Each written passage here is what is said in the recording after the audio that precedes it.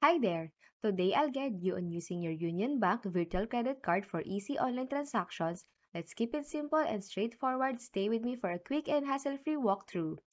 To start using your Union Bank virtual credit card, the first step is to log in into your Union Bank online banking account.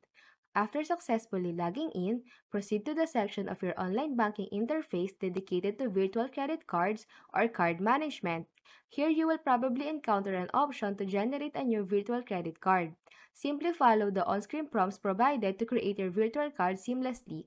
You may also check if your virtual credit card service offers extra features like setting spending limits or customizing the card for specific purposes. If available, tweak these settings based on your preference to have more control over how you use the card. Once you generated the virtual credit card, you will receive its details including the card number, expiration date, and CVV code. Now, using this virtual card for online transaction is a breeze. Just like you would do with a physical credit card when making online purchases, effortlessly input the card information at the checkout page. By following these steps, you will smoothly navigate and use your Union Bank virtual credit card, ensuring convenient and secure online transactions. And that's it! Happy spending!